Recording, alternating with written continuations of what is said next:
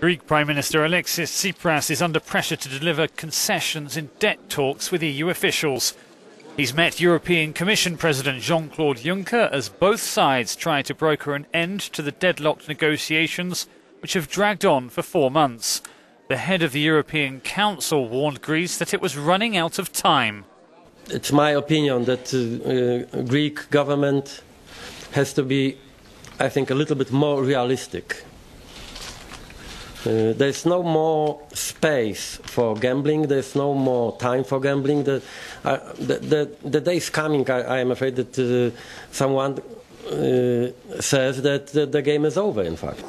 Tsipras is seeking a further restructuring of the country's debts. Eurozone finance ministers will meet on June the 18th for further talks, which the EU's Donald Tusk called decisive.